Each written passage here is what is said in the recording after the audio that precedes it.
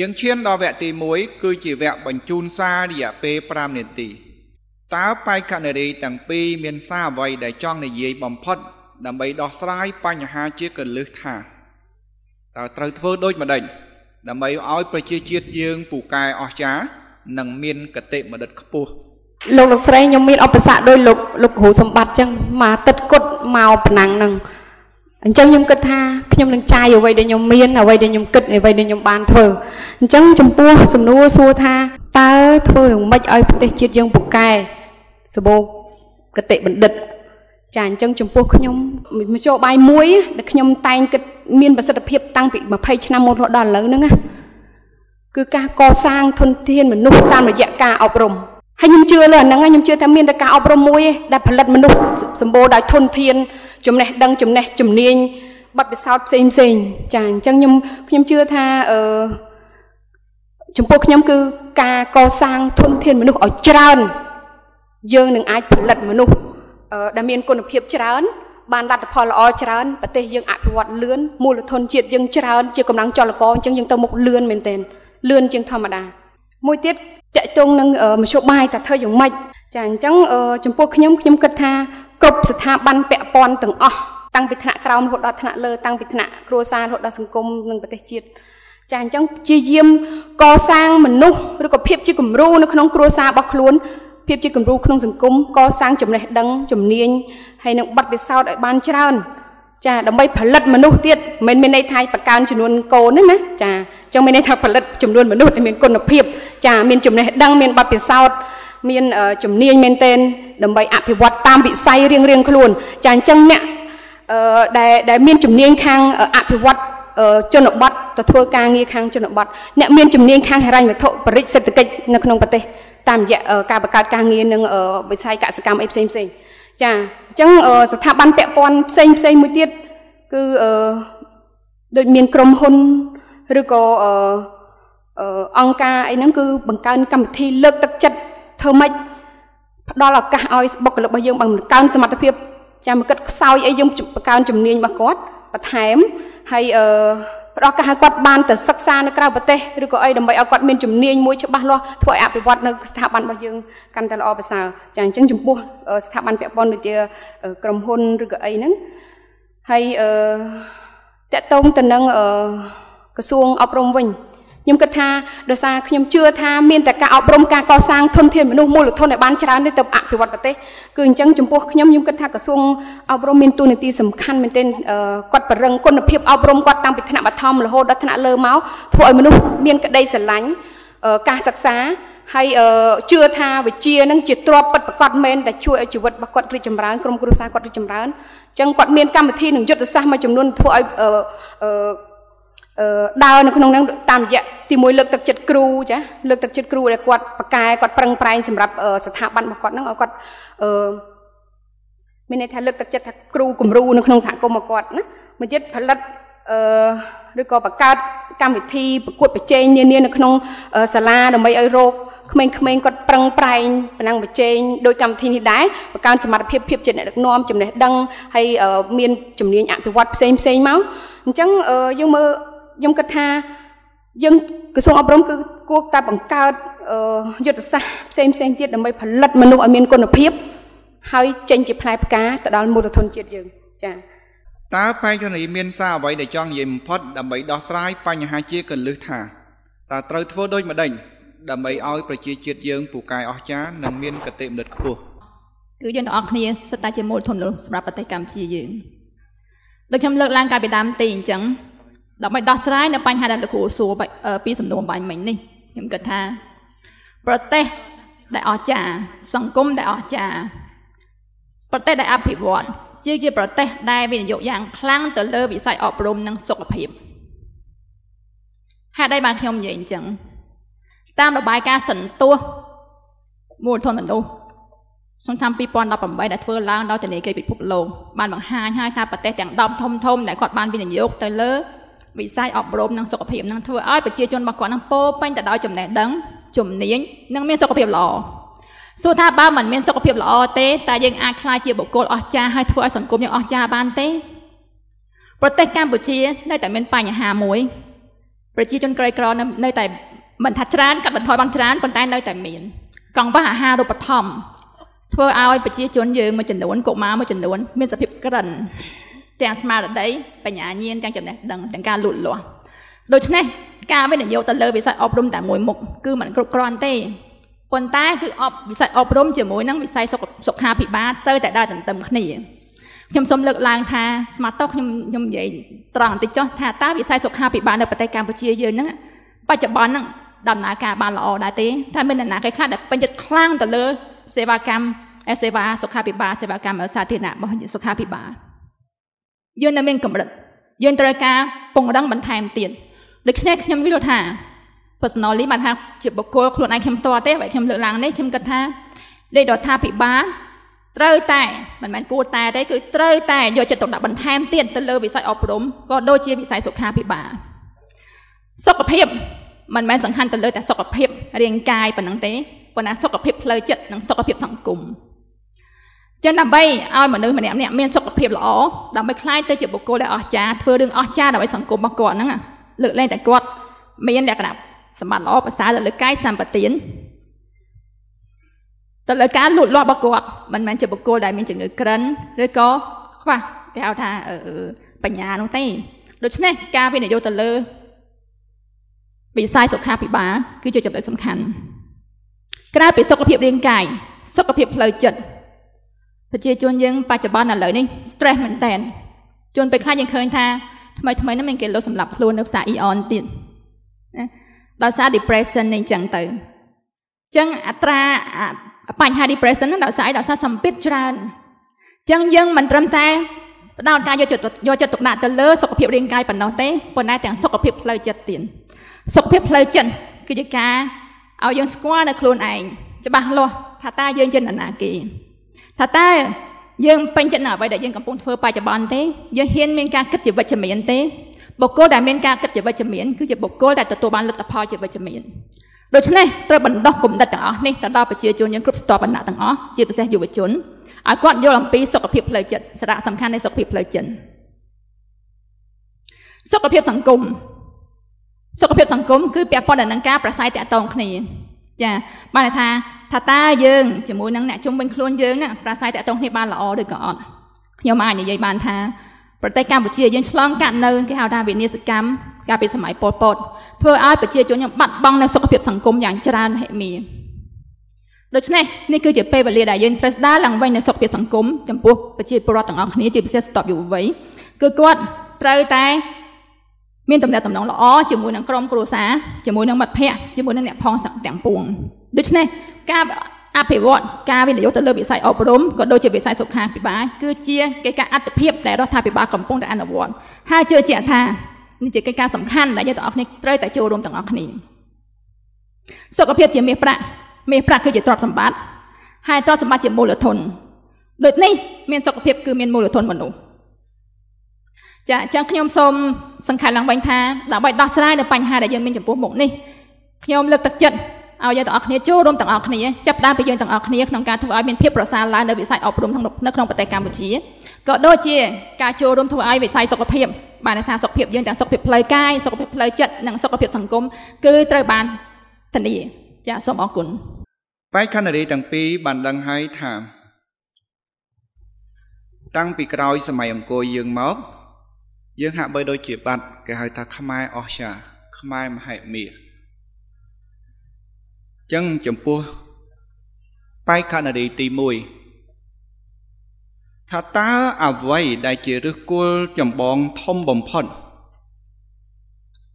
ដែលនាំឲ្យខ្មោះឲ្យប្រជាជាតិយើង មិនពូកែអស្ចារ្យដោយសម័យអង្គរចាអញ្ចឹងយើងមើលតាំងពីសម័យខ្មែរអស្ចារ្យខ្មែរអង្គរហ្នឹងមូលហេតុចម្បងដែលយើងបាត់ឬពួកគាត់ហ្នឹងទី1ខ្ញុំគិតថាដោយសារអឺ ពីអតីតកាលយើងរៀនប្រវត្តិសាស្ត្រយើងដឹងហើយណាសង្គ្រាមចាអញ្ចឹងយើងបាត់ប្រភពធនធានមនុស្សទាំងធនធានធម្មជាតិទាំងអីទាំងអស់ចាសង្គ្រាមហ្នឹងកើតឡើងពីផ្ទៃក្នុងទៅទៀតចាដណ្ដើមអំណាចចាវាយគ្នាលិចកើតចុះឡើងចុះឡើងអស់ចាអញ្ចឹងខ្ញុំគិតថាខាងទី1គឺចេញពីសង្គ្រាមហើយសង្គ្រាមនឹងចេញពីខ្លួនឯងតែម្ដងចាខាងក្នុងដែលយើងអត់រឹងមាំសត្រូវខាងក្រៅវាយលុកលឿនណា ចូលលឿនមែនទែនអញ្ចឹងអឺពេលដែលមានសង្គ្រាមយើងដឹងហើយថាបាត់អស់អ្នកចេះដឹងអ្នកប្រាជ្ញកម្ពី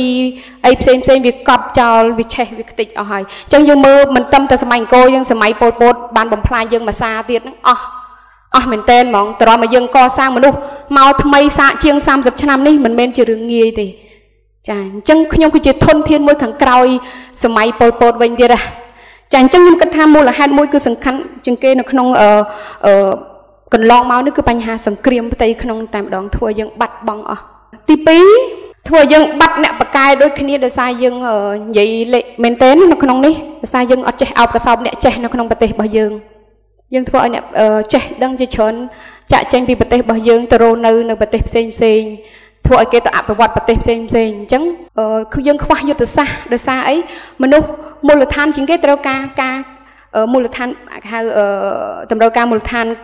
ចំណូលអីអីផ្សេងផ្សេងហ្នឹងអញ្ចឹងវាអត់សមស្របទៅនឹងអ្វីដែលគាត់ចេះដឹងដែលខំប្រឹងកន្លងមកយកមានអាការលើកទឹកចិត្តហ្នឹងធ្វើឲ្យមនុស្សល្អល្អចាក់ចេញពីប្រទេសយើងទៅជួយប្រទេសផ្សេងច្រើនណាចានឹងជាមូលហេតុចម្បងសម្រាប់ខ្ញុំហើយមួយទៀតអឺ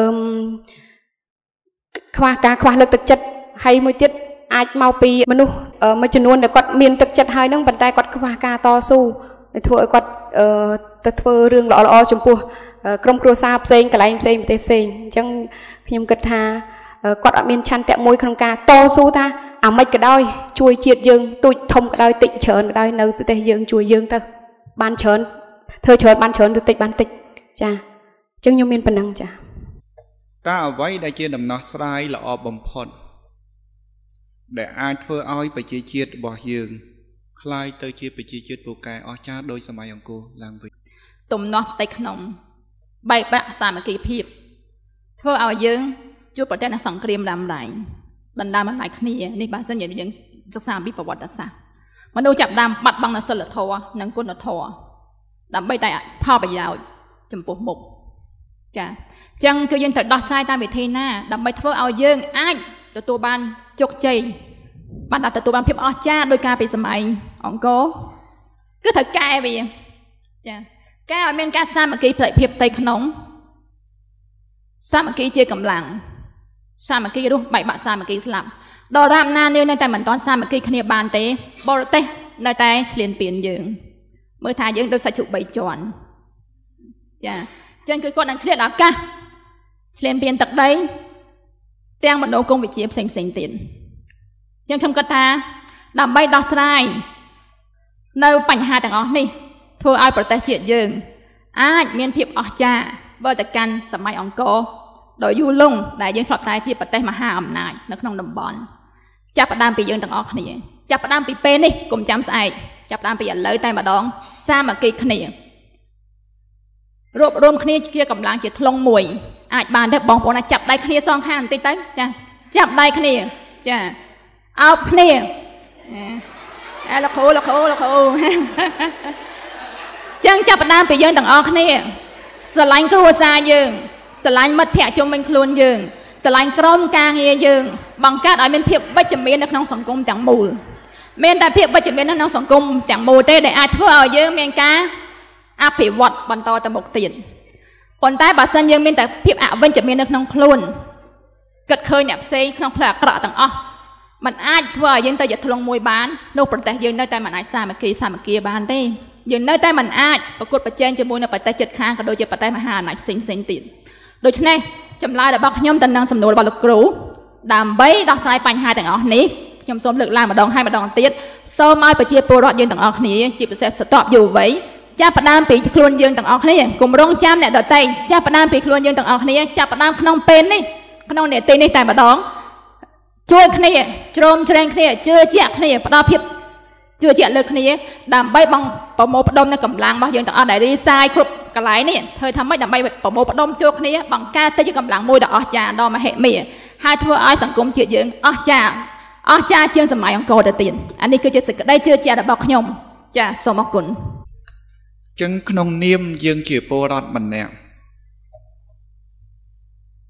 តើយើងត្រូវធ្វើអី ឲ្យខានតែបាន ដើម្បីឲ្យប្រជាជាតិយើងនេះ មានកតេមដិតខ្ពស់ក្នុងនាមខ្ញុំជាមនុស្សសាមញ្ញពលរដ្ឋម្នាក់សាមញ្ញម្នាក់ខ្ញុំនឹងធ្វើរឿងមួយ ដែលងាយងាយហើយមិនពិបាកធ្វើអ្នកទាំងអស់គ្នាក៏ដូចគ្នាដែរខ្ញុំគ្រាន់តែធ្វើជាគំរូនៅក្នុងសហគមន៍របស់ខ្ញុំ ក្នុងគ្រួសាររបស់ខ្ញុំនៅក្នុងសង្គមរបស់ខ្ញុំហើយប្រទេសជាតិរបស់ខ្ញុំអញ្ចឹងគំរូយ៉ាងម៉េច អញ្ចឹងខ្ញុំចង់លើកឡើងថាជាគំរូមិននៅក្នុងគ្រួសាររបស់ខ្ញុំខ្ញុំជាមនុស្សដែលផ្ដល់គេហៅសេចក្តីសម្រេចចិត្តទៅគ្រប់គ្នានៅក្នុងសមាជិកគ្រួសារប្តីកូនខ្ញុំស្ដាប់ហេតុផលពួកគាត់ចាអញ្ចឹងខ្ញុំធ្វើជាគំរូកាលណាការសម្រេចចិត្តមានការចូលរួម ទី2អ្វីដែលខ្ញុំសម្រេចបានខ្ញុំចែករំលែកទៅសហគមន៍របស់ខ្ញុំ ចាអញ្ចឹងមិនភាពជាគំរូមិនត្រឹមតែជាគំរូទេធ្វើជាអ្នក គំរូហើយយើងចែកទៅអ្នកផ្សេងផងឲ្យអ្នកផ្សេងនឹងអាចចែកទៅអ្នកផ្សេងទៀតដើម្បីផលិតគំរូឲ្យបានច្រើនអញ្ចឹងប្រជាជាតិយើងអស់ចាយហើយកុំភ្លេចចេះលក់ចេះលក់នូវភាពជាគំរូរបស់យើងទៅឲ្យប្រជាជាតិដតីថៃណែយើងអស់ចាមែនណាខ្មែរអញ្ចឹងខ្លាំងអញ្ចឹងបទរៀនក្រៅប្រទេសក៏បានលេខ1ដែរចាអញ្ចឹងផលិតភាពជាគំរូខ្លួនឯងនៅក្នុងតំបន់ខ្លួនឯងរស់នៅនៅក្នុងសហគមន៍ខ្លួនឯងរស់នៅនិងក្រៅប្រទេសដែលខ្លួនឯងរស់នៅហ្នឹងគឺខ្មែរយើងខ្លះជាប្រជាជាតិអស្ចារ្យនិងកតិបណ្ឌិតដែរចា ក្នុងនាមជាបេក្ខជនជាប្រជាពលរដ្ឋម្នាក់បើសិនជាគេឲ្យបេក្ខជនឬក៏បេក្ខនារីជាអ្នកផ្ដល់អនុសាសន៍ឲ្យរាជរដ្ឋាភិបាលយើងវិញថាតើរាជរដ្ឋាភិបាលរបស់យើងត្រូវធ្វើអ្វីខ្លះដែលសំខាន់សំខាន់បំផុតដើម្បីឲ្យប្រជាជាតិយើងคล้ายជាប្រជាជាតិដែលមានកតិបណ្ឌិតខ្ពស់ ចាចឹងសួរថាតើត្រូវធ្វើដូចម្ដេចដើម្បីឲ្យប្រជាជាតិយើងមានកតិបណ្ឌិតចឹងកតិបណ្ឌិតកតិបុកបណ្ឌិតហើយបើខ្ញុំបកស្រាយមិនខុសទេណាបើតាមវចនានុក្រមកតិគឺបញ្ញាញាណបណ្ឌិតគឺជាអ្នកដែលមានបញ្ញាញាណនឹងឯងដូច្នេះបណ្ឌិតដែលមានបញ្ញាញាណចឹងថាតើត្រូវធ្វើដូចម្ដេចដើម្បីឲ្យប្រជាជនយើងណាប្រជាជាតិយើងមានកតិបណ្ឌិតចាប់ផ្ដើមពីវិស័យអប់រំចាប់ផ្ដើមពីវិស័យអប់រំសួរថាតើយើងត្រូវ រៀនពីអីខ្លះវិស័យអប់រំយើងហ្នឹងយើងឃើញហើយថាបច្ចុប្បន្នក្រោយពីការមានការធ្វើកំណែតម្រង់ចាខ្ញុំជឿជាក់ថាវិស័យអប់រំយើងគឺមានការរីកចម្រើនច្រើនហើយក៏សូមអរគុណទៅដល់ការខិតខំប្រឹងប្រែងរបស់ក្រសួងអប់រំដែលគាត់បានធ្វើការកំណែតម្រង់ប្រព័ន្ធអប់រំរបស់គាត់រហូតដល់បច្ចុប្បន្នគឺឃើញថាមានការរីកចម្រើនល្អល្អជាងមុនច្រើនប៉ុន្តែវាមិនគ្រប់គ្រាន់ទេ នៅពេលដែលយើងឃើញបដិបត្តិបច្ចុប្បន្នហ្នឹងកំពុងតែដំណើរការទៅ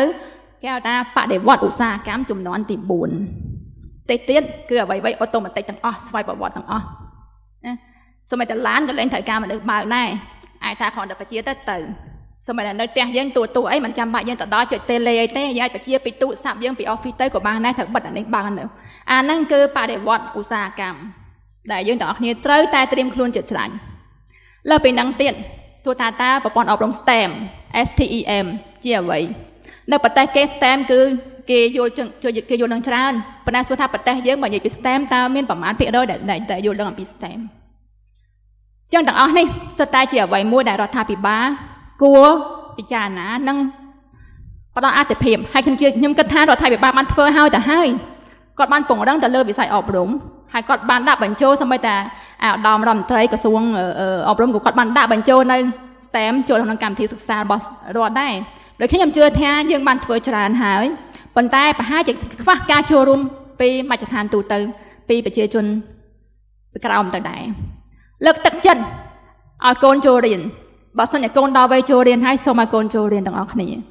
សូមកុំឲ្យកូនបញ្ឈប់ពីការរៀនសូត្រដើម្បីតែអាជីវកម្មគ្រួសារចាទាំងអស់នេះបានថាអ្វីខ្ញុំចង់និយាយ រដ្ឋាភិបាលធ្វើតែម្នាក់ឯងគឺមិនអាចទៅរួចទេដរាបណាយើងទាំងអស់គ្នាត្រូវតែធ្វើការជាមួយគ្នាធ្វើការជាមួយរដ្ឋាភិបាលទាំងអស់គ្នាចឹងចាប់ផ្ដើមពីខ្លួនយើងទាំងអស់គ្នាដូចខ្ញុំនិយាយចឹងពីនាទីនេះពេលវេលានេះចាប់ផ្ដើមឲ្យយើងដឹងអំពីតម្លៃនៃការអប់រំតម្លៃនៃចំណេះដឹងគុណធម៌សិលធម៌សុជីវធម៌ធម៌3នៅក្នុងខ្លួនចឹងខ្ញុំគិតថារដ្ឋាភិបាលបានធ្វើច្រើនហើយហើយខ្ញុំគិតថាខ្ញុំ សាទរចំពោះសមិទ្ធផលដែលរដ្ឋាភិបាលបានបាននឹងកំពុងប្រឹងប្រែងហើយខ្ញុំជំរុញឲ្យមានការចូលរួមបន្ថែមទៀតពីសតវយុវជន ជាពិសេសទាំងអស់គ្នាដែលមានវត្តមាននៅទីនេះទាំងអស់គ្នាគឺជាមូលធនយ៉ាងពិតប្រាកដមូលធនមនុស្សសម្រាប់អភិវឌ្ឍជាយើងដើម្បីឲ្យខ្លាំងក្លានិងទទួលបាននៃការរីកចម្រើនជានិរន្តរភាពតើធ្វើម៉េចដើម្បីឲ្យប្រជាជាតិយើងពូកែអស្ចារ្យនិងមានកតិបណ្ឌិតខ្ពស់ ដើម្បីធ្វើឲ្យប្រជាជាតិយើងពូកែអស្ចារ្យមានកតិបណ្ឌិតខ្ញុំគិតថាខ្ញុំបានលើកឡើងហើយលើកឡើងទៀតគឺចាប់ផ្ដើមពីយើងទាំងអស់គ្នាកុំសួរថាប្រទេសកម្ពុជាអាចផ្ដល់អ្វីដល់យើងប៉ុន្តែចូលសួរខ្លួនឯងថាតើយើងអាចផ្ដល់អ្វីខ្លះដល់កម្ពុជា សកម្មភាពទាំងអស់ត្រូវចាប់ផ្ដើមពីខ្លួនយើងការចូលរួមទទួលបាននៅគេហៅថាវិនិយោគលើខ្លួនឯងដូចខ្ញុំនិយាយអញ្ចឹងវិនិយោគលើខ្លួនឯងវិនិយោគទៅលើចំណេះជំនាញនិងបទពិសោធន៍វិនិយោគទៅលើសុខភាព ជាការជាការសំខាន់ហើយទាំងអស់នេះมันមានអ្នកណាគេអាចចាប់បង្ខំយើងបានទេទោះរដ្ឋាភិបាលគាត់មានយុទ្ធសាស្ត្រយ៉ាងណាក៏ដោយប៉ុន្តែបើសិនជាបុគ្គលខ្លួនឯងគាត់មិនចង់ចូលរួមធ្វើទេគឺកិច្ចការទាំងអស់នេះមិនអាចជោគជ័យបានទេអញ្ចឹងជាថ្មីម្ដងទៀតខ្ញុំសូមអំពាវនាវឲ្យប្រជាពលរដ្ឋទាំងអស់ជាពិសេសស្ទាប់យុវវ័យខិតខំប្រឹងប្រែងពីវិនាទីនេះទៅខិតខំវិនិយោគលើខ្លួនឯងរៀនសូត្រឥតមានព្រំដែនភាសាអង់គ្លេសថា lifelong learning រៀនហើយរៀនទៀតរៀនហើយរៀនទៀតហើយបើសិនជាសុភាសិតចិនវិញណារៀនរស់ដល់ស្លាប់រៀនដល់ស្លាប់អញ្ចឹងខ្ញុំជឿជាក់ថាការរៀនសូត្រវាជាចំណុចសំខាន់មួយ ដែលធ្វើឲ្យយើងមានកន្តិបណ្ឌិតដែលធ្វើឲ្យយើងទទួលបាននូវព័ត៌មាន ចំណេះដឹងសុជីវធម៌សិលធម៌និងគុណធម៌ដូច្នេះការរៀនសូត្រទាំងនៅសាលារៀនក្តីទាំងក្រៅសាលារៀនក្តីគួរត្រូវបានអនុវត្ត ក្រៅពីនេះ ការតស៊ូដែលមិនបោះបង់ដូចខ្ញុំនិយាយអញ្ចឹងណាបដញ្ញាចិត្តថាត្រូវតែធ្វើហើយកុំឲ្យឧបសគ្គរារាំងយើងបានឲ្យសោះ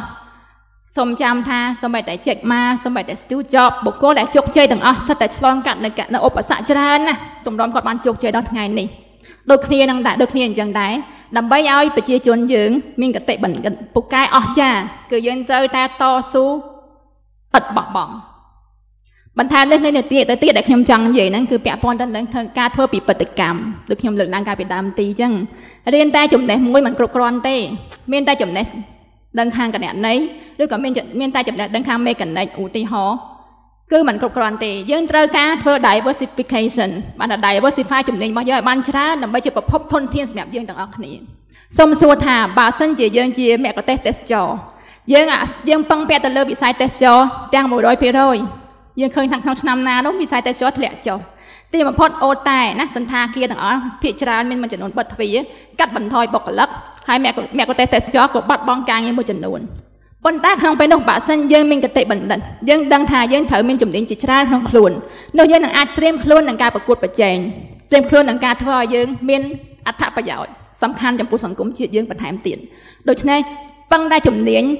តនឬក៏ចំណេញដឹងតែមួយប្រភេទគឺมันគ្រប់គ្រាន់ទេប៉ុន្តែយើងត្រូវធ្វើពីបដកម្មជំនាញបន្ថែមទៀតដោយតែរដ្ឋាភិបាលក៏បានធ្វើពីបដកម្មលើសេដ្ឋកិច្ចណាមិនពឹងផ្អែកទៅលើវិស័យកាត់ដេរទាំងស្រុងទេដោយសារលើ EBA នឹងអាចមានបញ្ហា everything បាត់អាំប៉ុន្តែគឺយើងកំពុងតែធ្វើពីបដកម្មទៅលើទាំងវិស័យទេសចរទាំងវិស័យការរកសេវាកម្មទំនើបជាងខ្ញុំគិតថារដ្ឋាភិបាលបានគិតគូររឿងនេះបានបានគ្រប់ជ្រុងជ្រោយប៉ុន្តែអ្វីអ្វីអ្វីដែលយើងខ្វះខាតបច្ចុប្បន្ននេះគឺការចូលរួមពី មជ្ឈដ្ឋានទូទៅ ការចូលរួមពីសតវយុវវ័យគឺសំខាន់បំផុតយើងអាចធ្វើឲ្យប្រទេសជាតិយើងកែប្រែមុខមាត់ថ្មីខ្លាយទៅជាប្រទេសដ៏អស្ចារ្យខ្លាយទៅជាប្រទេសដែលមានសេដ្ឋកិច្ចលូតលាស់ខ្លាំងក្លានៅលើលោកសឹងតែអាចខ្លាយទៅជាប្រទេសមហាអំណាចបានព្រោះតែប្រទេសមហាអំណាចមិនប្រកាសថាត្រូវមានផែនត្រូវមានដែនដីធំទេសិង្ហបុរីជាប្រទេសដែលតូចមួយមានប្រជាជនប្រហែលជា5លាននាក់គាត់ធ្លាប់តែជាប្រទេសក្រីក្រប៉ុន្តែដោយសារប្រជាជនរបស់គាត់ពោពេញទៅដោយចំណេះដឹងនិងសុខភាពធ្វើឲ្យសេដ្ឋកិច្ចគាត់លូតលាស់រហូតខ្លាយទៅជា ខ្លាសេដ្ឋកិច្ចណាអាស៊ីចាអញ្ចឹងអ្វីដែលជាសារបញ្ជូនទៅចំពោះយុវជនទាំងអស់គ្នាទាំងថ្ងៃនេះគឺអ្វីៗទាំងអស់ចាប់ផ្ដើមពីយើងទាំងអស់គ្នាយើងទាំងអស់គ្នាដើម្បីមូលធនមនុស្សមូលធនមនុស្សដើម្បីយើងទាំងអស់គ្នាសូមអរគុណតើតើនឹងការដោះស្រាយបញ្ហាតើធ្វើដូចម្ដេចដើម្បីឲ្យប្រជាជាតិយើងពូកែអស្ចារ្យនិងមានកតេបិតខ្ពស់ចាអរគុណច្រើនចាអញ្ចឹងខ្ញុំមានយុទ្ធសាស្ត្រឬក៏វិធីសាស្ត្រ3 4ដែលជាអនុសាសន៍ ចេញពីការគិតរបស់នាងខ្ញុំហើយសង្ឃឹមថាវាអាចជួយទៅដល់គ្រប់គ្នាបានបើទោះបីតិចឬច្រើនអីចាអញ្ចឹងដើម្បីឲ្យម្នាក់ម្នាក់ឬក៏គ្រប់គ្នាមានដូចថាមានជាពូជអស្ចារ្យឬក៏មនុស្សអស្ចារ្យនៅក្នុងប្រទេសកម្ពុជារបស់យើងហ្នឹងណាទី1ខ្ញុំជូនសារទៅគ្រប់គ្នាព្យាយាមកសាងខ្លួនឯងអភិវឌ្ឍខ្លួនឯងពីមួយថ្ងៃទៅមួយថ្ងៃឲ្យកាន់តែប្រសើរជាងនឹងបរិជ្ជចំណេះដឹង បរិជ្ជបတ်ពិសោធន៍បរិជ្ជជំនាញខ្លួនផលិតអ្វីមួយជាផ្លែផ្កាឲ្យសង្គមយើងទទួលស្គាល់ណែចាយើងជាធនធានសង្គមពិតប្រាកដមែនណាចំពោះបុគ្គលចាទី2ចំពោះស្ថាប័នពាក់ព័ន្ធផ្សេងផ្សេងចាអញ្ចឹងដើម្បីឲ្យជាតិយើងអស់ចាលុះត្រាតាខ្ញុំគិតថាតាំងពីក្បាលដល់ជើងជើងតាំងពីរាជរដ្ឋាភិបាលរហូតដល់ថ្នាក់សហគមន៍នៅខាងក្រោមចាព្យាយាមជួយលើកទឹកចិត្តផលិតមនុស្សមានន័យថាបើសិនជាគ្រួសារលើកទឹកចិត្តឲ្យក្រុមគ្រួសារសមាជិកគ្រួសាររៀនឲ្យបានខ្ពស់តាមដែលអាចធ្វើបាន ទី2ក្នុងសង្គមយើងនៅក្នុងសង្គមមួយបើឃើញគាត់រៀនសូត្របានប្រកែលើកទឹកចិត្តគាត់កុំនិយាយថាអាទៅរៀនទៅបានខ្មោចអីស៊ីទេយើងលើកទឹកចិត្តថាអស់ចាមែនទែនគ្រួសារនេះក្រីក្រតែឲ្យកូនរៀនបានជោគជ័យអញ្ចឹងយើងមោទនភាពឲ្យឲ្យតម្លៃទៅលើសង្គមនោះទៅចាអញ្ចឹងយើងមើលថ្នាក់ជាតិវិញនៅក្រសួងពាក់ព័ន្ធទៅវិញអញ្ចឹងព្យាយាមផលិតរឿងអស្ចារ្យតាមគ្រប់វិស័យខ្ញុំនិយាយអាចនិយាយពីដៃជើងអញ្ចឹងអញ្ចឹងផ្នែកណាដៃធ្វើការតាមដៃក្បាលធ្វើតាមក្បាលជើងធ្វើការតាម ជើងអញ្ចឹងជើងក៏ដើរដៃក៏ធ្វើអញ្ចឹងទៅទាំងព្រមទាំងអស់គ្នាតាំងពីក្រោមឡើងលើចាអញ្ចឹងខ្ញុំសំខាន់ជាងគេដែលធ្វើឲ្យចលករនឹងដើរលឿនជាងគេមាន2ដែលពាក់ព័ន្ធទី1ខ្ញុំសូមពីមនីដល់ក្រសួងអប់រំពង្រឹងគុណភាពសិក្សាតាំងពីថ្នាក់បឋមរហូតដល់ថ្នាក់វិទ្យាល័យផលិតមនុស្សឲ្យមានគុណភាពអញ្ចឹងដើម្បីផលិតមនុស្សឲ្យមានគុណភាពត្រូវផលិតគ្រូឲ្យមានគុណភាពគ្រូមានគុណភាពយើងចេះបានបរៀនគេចេះយើងអត់ចេះបរៀនគេអត់ចេះទេ គាត់ដឹងយល់មិនឲ្យគេយល់ហើយកម្មវិធីសិក្សាធ្វើម៉េចបរៀនឲ្យចប់កម្មវិធីសិក្សា ជាពិសេសនៅតាមជនបទរៀនដែរខ្ញុំផ្ទាល់ខ្ញុំរៀនដែរចាប់សភៅចាអញ្ចឹងធ្វើម៉េចឲ្យពលឿនកម្មវិធីសិក្សាបើគាត់ឲ្យបានរៀនគួរធ្វើម៉េចឲ្យបានរៀនតាមចប់ម៉ោងហ្នឹងឲ្យចេះឲ្យវាចប់ម៉ោងមែនគ្រូមកឲ្យទៀងទាត់ណាទី2ទី3លើកទឹកចិត្តគ្រូមែនតើឲ្យគាត់ធ្វើការអស់ពីធម្មពលពងខ្លួនតាមរយៈការផ្ដល់ប្រាក់ខែគាត់ពេញលេញទៅ គាត់មិនបាច់ទៅចិញ្ចឹមជ្រូកមិនបាច់ទៅធ្វើស្រែទៀតហត់បែកកម្លាំងគាត់ធ្វើតែការងារធ្វើម៉េចបរៀនសិស្សឲ្យយល់ទៅបានចាអញ្ចឹងឲ្យគាត់រស់មានរស់រៀនមានជីវិតឲ្យសមដូចជំនាន់មុនដែលគេថាធ្វើតែគ្រូកូនអ្នកអ្នកចង់លើកូនឲ្យចឹងនិយាយចឹងឲ្យគាត់រស់បានហ្មងហ្នឹងគឺប្រព័ន្ធអប់រំទី3ខ្ញុំសូមជូនសារទៅរាជរដ្ឋាភិបាលកម្ពុជាសូមមេត្តាបង្កើត event ឬបង្កើតអី បរិទ្ធធនធានមនុស្សផ្ដល់ឱកាសឲ្យមនុស្សមានន័យថាយើងដៃគូសហការជាមួយប្រទេសផ្សេងផ្សេងផ្ដល់អាហារូបករណ៍ឲ្យសិស្សនិស្សិតយើងទៅរៀនក្រៅប្រទេសឲ្យច្រើនហើយលើកទឹកចិត្តពួកគាត់ឲ្យមកប្រទេសយើងវិញដើម្បីអភិវឌ្ឍប្រទេសយើងអត់មានតែធ្វើការឲ្យអ្នកផ្សេងមកប្រទេសយើងវិញធ្វើការបរិទ្ធនៅប្រទេសយើងវិញមិនខ្ញុំគិតថាមិនយូរទេពេលដែលយើងផលិតមនុស្សបានច្រើនធនធានមនុស្សបានច្រើនគឺយើងនឹងមានធនធានមនុស្សដែលពោពេញនៅកតិបណ្ឌិតមកអភិវឌ្ឍប្រទេសយើងជាមិនខាន ចាអញ្ចឹងខ្ញុំសូមគាំទ្រថាចំណុចទាំងអស់នេះបើសិនបើយើងធ្វើបានចាប់ផ្ដើមពីខ្លួនយើងពីថ្នាក់ក្រោមដល់ថ្នាក់លើខ្ញុំជឿថាយើងជា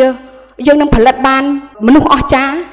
ចាកតិបណ្ឌិតមនុស្សម្នាក់ម្នាក់មានកតិបណ្ឌិតអស្ចារ្យនឹងផលិតបានកតិបណ្ឌិតអស្ចារ្យច្រើនទៀតហើយកតិបណ្ឌិតអស្ចារ្យទាំងអស់នោះធ្វើការទាំងព្រមទាំងទាំងអីគឺគឺផលិតបានគុណភាពជីវិតមួយឬក៏ប្រទេសមួយបានលទ្ធផលអស្ចារ្យហើយមិនតាមប៉ុណ្ណោះចុងក្រោយមួយទៀតពេលដែលយើងអស្ចារ្យហើយយើងបង្ហាញប្រាប់ពិភពលោកថាកម្ពុជាធ្វើបាន ផលិតស្រូវមួយធម្មជាតិធ្វើមិនឲ្យស្រូវយើងคล้ายទៅជាប្រជាជាតិទូទាំងពិភពលោកអាចដឹងថានេះស្រូវផ្កាម្លិះរំដួលគឺជាស្រូវរបស់ខ្មែរឆ្ងាញ់មែនទែនមានជាតិមែនទែនធៀបជាមួយប្រទេសជិតខាងនោះស៊ីអញ្ចឹងបើយើងធ្វើរឿងអស្ចារ្យបង្ហាញគេផងថាយើងអស្ចារ្យមិនមិនយើងស្រែកថាយើងអស្ចារ្យអស្ចារ្យអស្ចារ្យប៉ុន្តែអត់មានអីបង្ហាញថាយើងអស្ចារ្យទេអញ្ចឹងយើងផលិតអីមួយបង្ហាញពិភពលោកថាណែស្រូវគឺមកប្រទេសខ្មែរគឺឆ្ងាញ់ហ្មង ហើយអយុទ្ធសាស្ត្រធ្វើមិនហ្នឹងគឺមានស្ថាប័នពាក់ព័ន្ធច្រើនណាស់នៅក្នុងការធ្វើការឲ្យប្រទេសជាតិយើងអស្ចារ្យសម្រាញ់សំខាន់តែថាយើងចង់អស្ចារ្យរឿងអីយើងធ្វើរឿងហ្នឹងឲ្យបានច្រើនគ្រប់គ្រងរឿងហ្នឹងឲ្យផលិតរឿងហ្នឹងឲ្យបានច្រើនទៅខ្ញុំជឿថាអស្ចារ្យចាអរគុណច្រើនសូមលើកដៃឡើងដើម្បីអបអរថាការប្រកួតប្រជែងលើកដៃឡើងដើម្បីអបអរថាការប្រកួតប្រជែងរបស់យើងគឺដើម្បីដិតចំណងនៅសាមគ្គីភាពមិត្តភាពនិងកិច្ចសហការល្អសម្រាប់កម្ពុជារបស់យើង នាងខ្ញុំពិតជារំភើបណារំភើបដោយបានឃើញការចចែកការវែកញែករបស់ស្ត្រីទាំងអស់ដែលជាបេក្ខជន ពិតជាមានខ្លឹមសារល្អហើយបានប្រមូលផ្ដុំនិងផ្ដល់ជាធាតចូលដ៏ល្អល្អ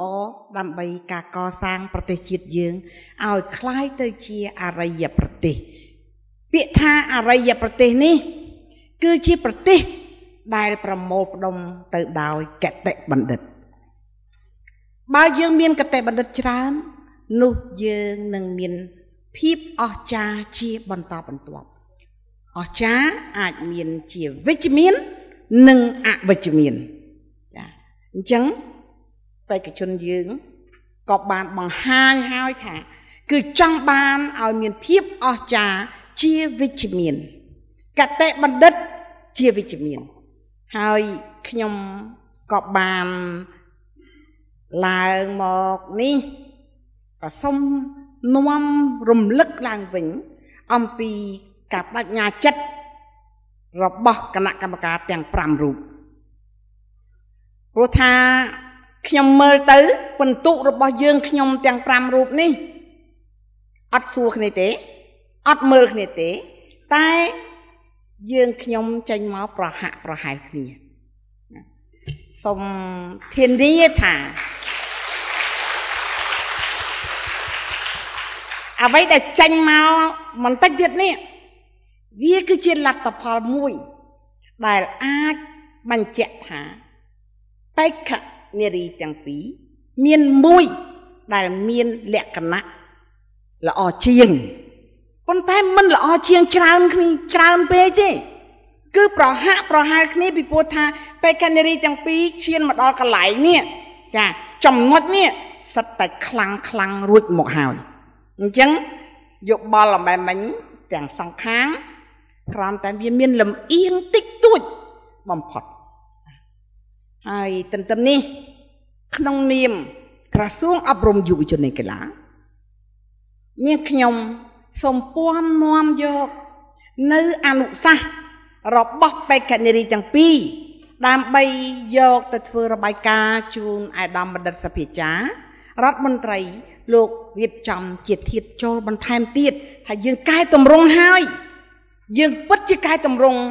ដល់លំបាកបំផុតពីព្រោះយើងគោរពតាមអនុសាសន៍របស់សម្ដេចហើយយើងទាំងអស់គ្នាក៏គ្រប់គ្រងដែរថា បើកែតម្រង់យើងរស់មិនកែតម្រង់យើងស្លាប់ហើយអ្វីដែលលោករដ្ឋាកំពុងតែធ្វើនេះក៏ជាផ្នែកមួយគ្រប់គ្រងឲ្យដល់ដំណើរការកំណែតម្រង់ដើម្បីអភិវឌ្ឍធនធានកម្ពុជាធនធានមនុស្សកម្ពុជា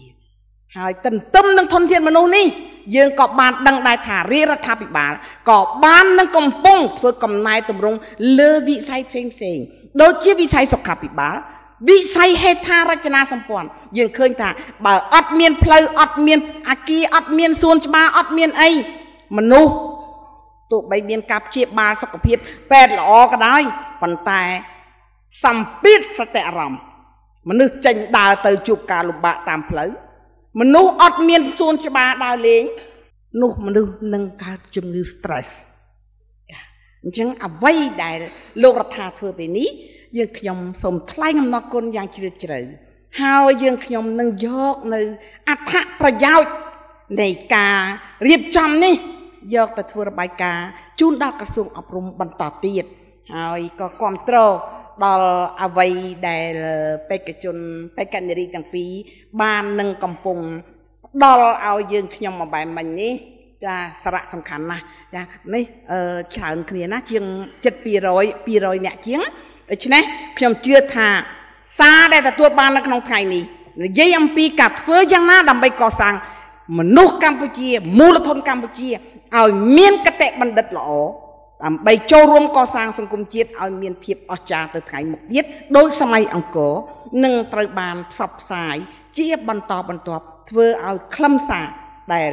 រដ្ឋា leading កំពុងតែខិតខំនេះអាចទទួលបានលទ្ធផលកាន់តែល្អទៀតសូមអរគុណបាទអរគុណច្រើនសូមសូមលោកជំទាវអញ្ជើញមកកណ្ដាលហើយអឺសូមអបអរសាទរវេទិកាស្ត្រីជជែកដេញដោលពីភាគជាអ្នកដឹកនាំឆ្នាំ2019ការប្រកួតកំណត់ដើម្បីពង្រីកគតិបណ្ឌិតភាពជាអ្នកដឹកនាំចាសសូមអរគុណសម្រាប់ គូទាំងពីរក៏ដូចជាសូមអរគុណដល់បេក្ខនារីទាំងអស់ដែលបានចូលរួមក្នុងការកសាងមូលធនមនុស្សសម្រាប់ជាតិរបស់យើងឈានចូលដល់ការប្រកាសលទ្ធផល មានពាក្យមួយតែងតែនិយាយថា May the best woman win ដូច្នេះហើយសូមចូលរួមអបអរសាទរ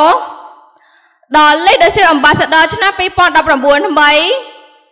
អបអរសាទរដល់លោកស្រីជាសុភា